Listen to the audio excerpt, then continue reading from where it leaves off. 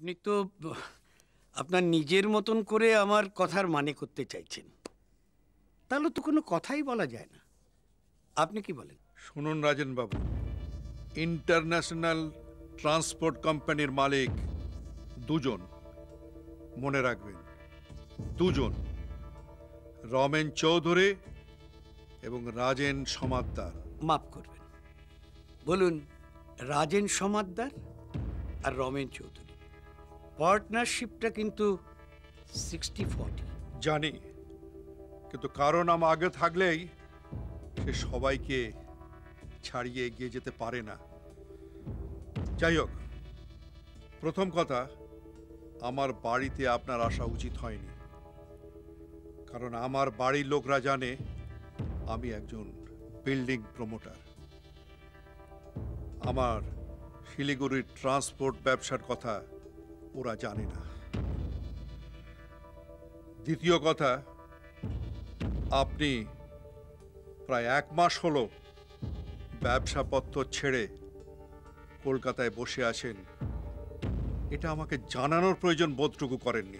Exactly আপনাকে বাঁচানোর জন্যই কিন্তু আমি আপনাকে কিছু জানাইনি বা যোগাযোগ করিনি।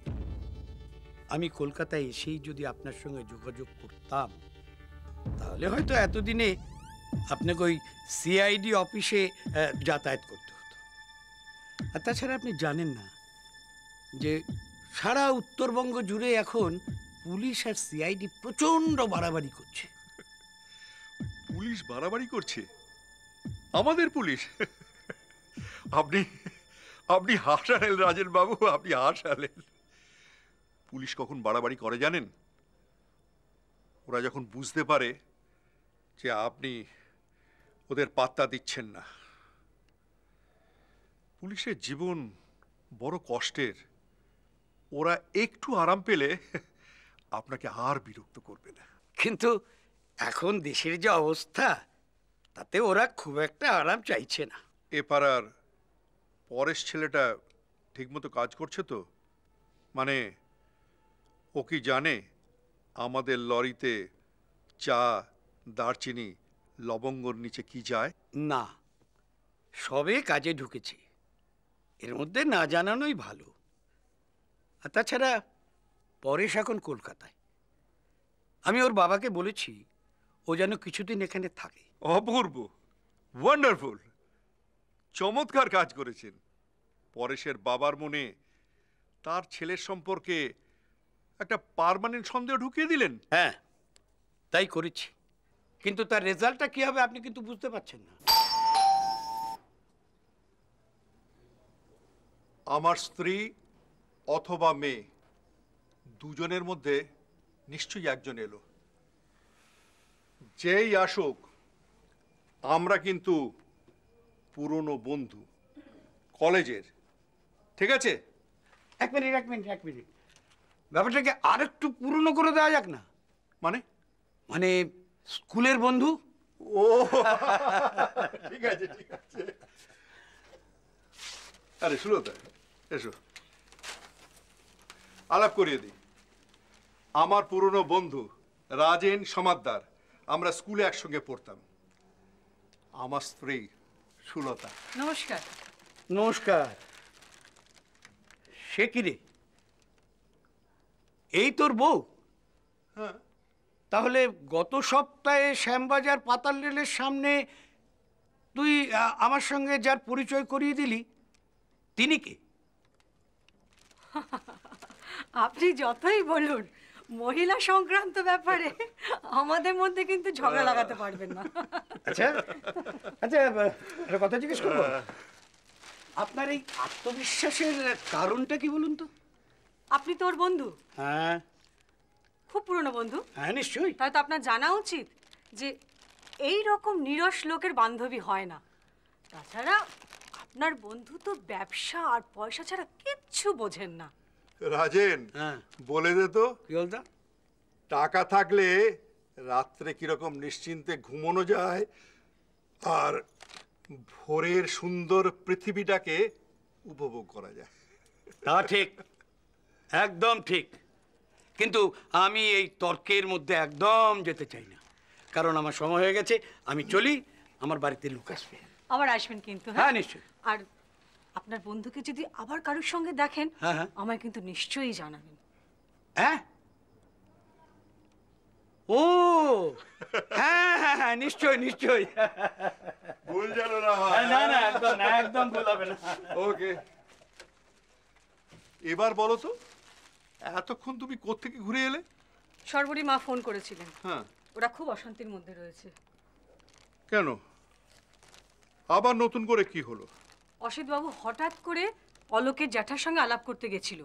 আর সেই নেই তো ঝামেলা। ঝামেলা হবেই। কারণ অসিতবাবু যে শুধু আলাপ করতে ও বাড়িতে যায়নি সেটা বাড়ির লোকজনেরা জানে। কিন্তু কেন গেছেন সেটা জানতে হবে।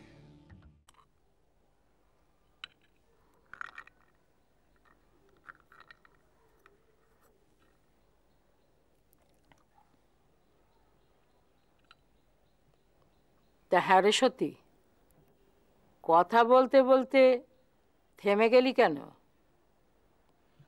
কথা বলতে ভালো না লাগলে চলে যা। মা, অনেকক্ষণ ধরে একটা কথা বলব ভাবছিলাম। কিন্তু কীভাবে শুরু করব তাই, তাছাড়া আপনি যদি শুনে চেঁচামেচি করেন। তুই তো আজকালকার বইয়েদের মতো কথা বলছিস। আগে তো এত ভেবেচিন্তে কথা বলতিস না। বুঝেছি। তোর নিজের কথা নয়। অন্যের হয়ে দালালি করতে এসেছিস। তা বল শুনি। তোর কথাটা কি? বলছিলাম চাপার কথা বলছি। চাপা? কি হ্যাঁ। হয়েছে চাপার? শরীর টরীর খারাপ নাকি? না শরীর ঠিকই আছে। আসলে ওই চাপার মেজ ভাসুরের মেজ ভাসুরের মেয়ে নন্দা। ও নন্দা ফন্দা জানি না। কেন? আবার এই ছিল বুঝি মেয়েটা। এবার যদি আসে তো আমাকে ডেকে দিবি। ওই মেয়েটাকে বুঝিয়ে দেব যে ও কোন বাপ মায়ের মেয়ে। কেন মা? নন্দাকে কেন বলবেন? ওর কি দোষ? ও তো আর জানে না আগেকার কথা। সেই জন্যেই তো জানাতে হবে। ও জানবে ওর বাপ মা দুটোই কত বড় হাড় বজ্জাত ছোট লোক। তাতে কি চাপা খুশি হবে?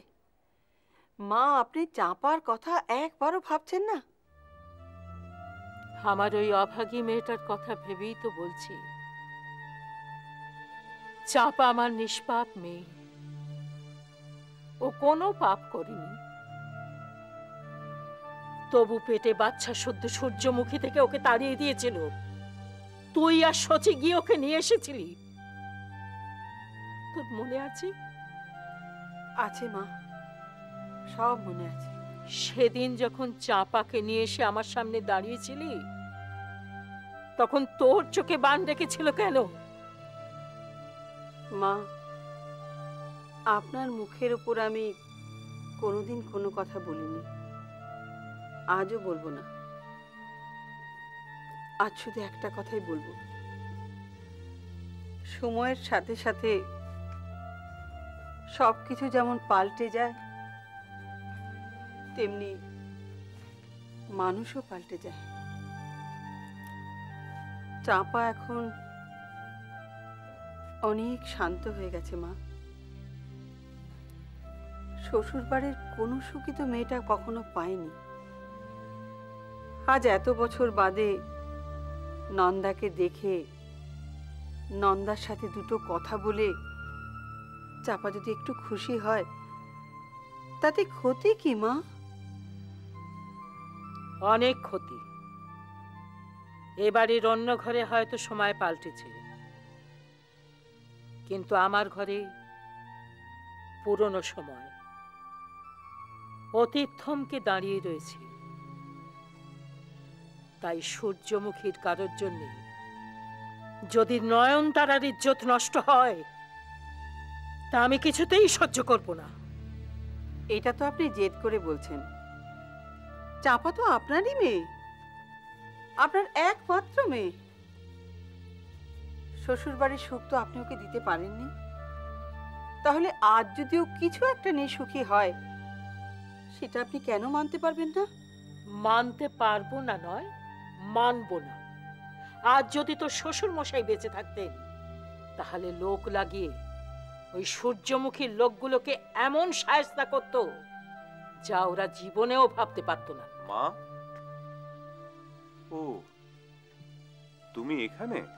হ্যাঁ তোর বউ চাপার হয়ে এখানে নাকে কাঁদছে। তা তুইও কি কাঁদবার জন্য এলি নাকি? তুমি কি বলছো কি? আমি তো কিছুই বুঝতে পারছি না। সতী কি হয়েছে? কি আবার হবে? মা বলছেন চাপার ভাসুরজির এ বাড়িতে আসা চলবে না। সেই ব্যাপারেই কথা বলছিলাম। শুধু ভাসুর্জি নয় ও বাড়ির কেউ এ বাড়ির ছায়া পর্যন্ত মারাবে না। কি রে সচি তুই কিছু বলবি? এ, দেখো মা এটা এমন একটা ব্যাপার আমি চট করে কি বলি বলো তো? বাবুলালের সঙ্গে মতির সঙ্গে আলোচনা না করে মেজ ঠাকুরপুর সঙ্গে আলোচনা করে কোনো লাভ নেই। সে তো শুনেই চেঁচামেচি করতে শুরু করবে। তার থেকে বরং ছোট ঠাকুরপুর সঙ্গে। তাছাড়া একটা কথা আমার ভেবে ভীষণ অবাক লাগছে।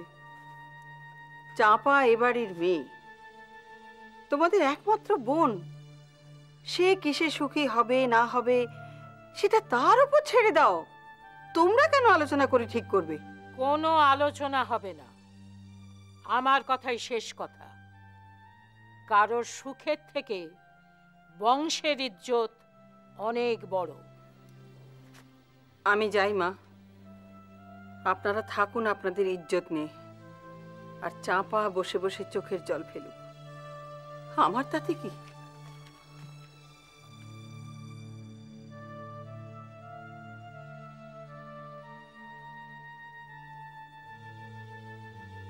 ইয়ে মা আমি একটা অন্য কথা বলতে এসেছিলাম। অন্য কথা? মানে?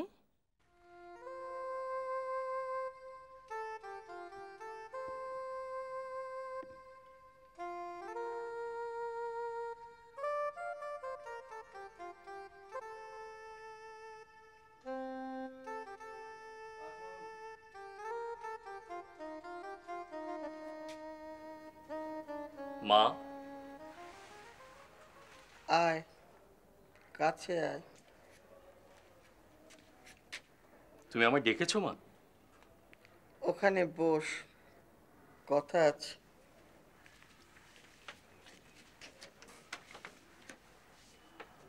তিলক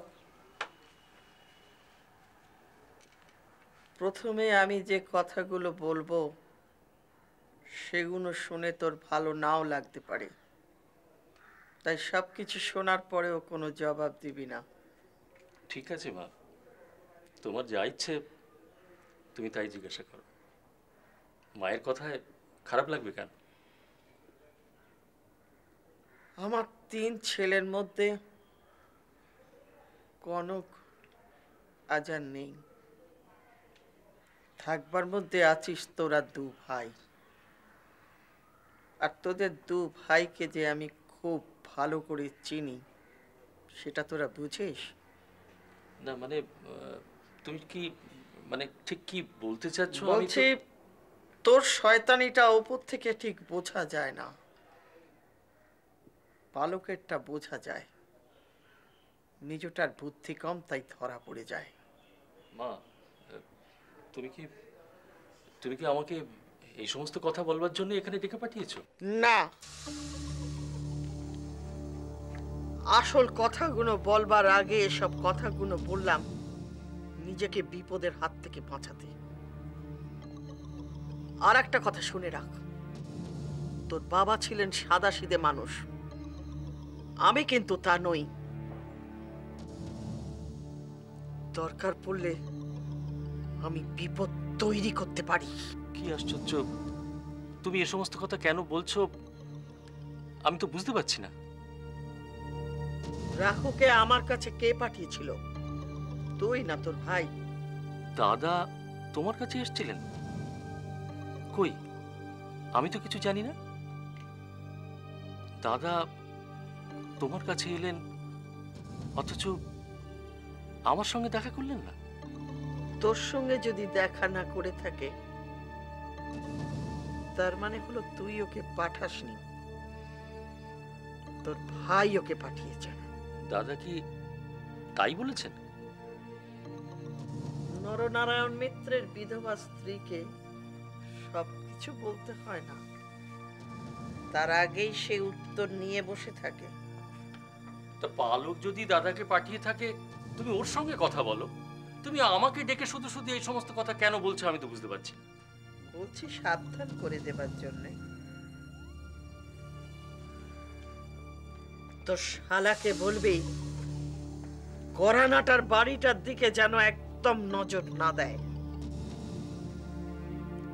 আর চোখ একবার চলে গেলে লাল সাদা লাঠি হাতে বাকি জীবনটা ওকে কাটাতে হবে। রাখো হরিকে রাখার ক্ষমতা হরির বাপেরও থাকবে না।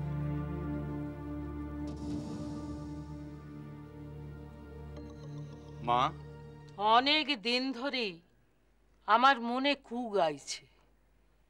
কেন যেন মনে হচ্ছে এ বাড়ির আনাচে কানাচে শয়তানেরা বাসা বেঁধেছে। এই নয়নতারাকে শেষ করার একটা বিরাট ষড়যন্ত্র চলছে। দেখো মা আমি তো এই বয়স পর্যন্ত লোকটার নামও শুনিনি। তাই শোনার পর ভেবেছি তুমি হয়তো কিছু জানলেও জানতে পারো। না ওই বিবেক দত্ত বলে কাউকে আমি কোনোদিন দেখিও নি ও নামও আমি শুনিনি। তবে একটা কথা ভেবে আমি অবাক হচ্ছি। তোদের বাপের যথেষ্ট বুদ্ধি ছিল। তা তোরা এমন বোকাপাটা হলি কি করে? তা আমি কি করব বলো তো মা? লোকটার সঙ্গে বাবুলালের দেখা হয়েছিল। যা কথা বলার ওই বলেছে। আমি তো লোকটাকে দেখেইনি। তুই না দেখলেও লোকটা আছে। লোকটা কি মতলবে বাবুলালের সঙ্গে কথা বলেছিল? সেটা জানার জন্যে ওই লোকটাকে আমার কাছে আনা দরকার ছিল। আচ্ছা বাবুলালের সঙ্গে ওই বিবেকের কি কথা হয়েছে? তুই কিছু শুনেছিস? না না, সেরকম কিছু নয়। লোকটা নিজের থেকে এসে আলাপ করেছিল। তো তখন কথায় কথায় বাবুলালকে বলেছিল যে নয়নতারার সঙ্গে নাকি তার দূর সম্পর্কে লতায় পাতায় আত্মীয়তা আছে। বাহ লোকটা বলল আর বাবুলাল চুপচাপ শুনে নাচতে নাচতে বাজার করতে চলে গেল। আরে ওর তো উচিত ছিল লোকটাকে ধরে আমার কাছে নিয়ে আসা। ওহো মা কি উচিত ছিল কি উচিত ছিল না এখন তো সে সমস্ত কথা বলে কোনো লাভ নেই। যা হবার তা তো হয়েই গেছে। এখন তুমি ভেবে বার করো যে ওই বিবেক দত্ত নামে আমাদের কেউ কোথাও ছিল কিনা? তার মানে? আমি যে বললাম সেটা তোর বিশ্বাস হলো না? না না বিশ্বাস অবিশ্বাসের কথা নয় মা। আগেকার দিনে এই বাড়িতে বহু আত্মীয় অনাত্মীয় লোক তো থেকেছে। এখানে থেকে সেই সমস্ত লোকেরা তাদের ভবিষ্যৎ তৈরি করেছে। আবার এক সময় এখান থেকে চলেও গেছে। এমনও তো হতে পারে যে এই বিবেক দত্ত সেই সমস্ত লোকেদেরই একজন? না। তোর হয়তো মনে হতে পারে। কিন্তু এখানে যারা থাকতো, তাদের সবাইকে আমি চিনতাম। আজও যদি কেউ বেঁচে থাকে, আমার সামনে এসে যদি দাঁড়ায়, আমি চিনতে পারব। এমনকি তাদের নামও আমি বলে দিতে পারব। কিন্তু এই বিবেক দত্ত নামটা এটা আমি প্রথম শুনছি। একটা কথা মনে রাখবি? ভাদুরী পদবী হলেই যে সে শিশির ভাদুরীর ছোট ভাই বা দুঃসম্পর্কের আত্মীয় হবে হ্যাঁ, এমন কোনো কথা নেই।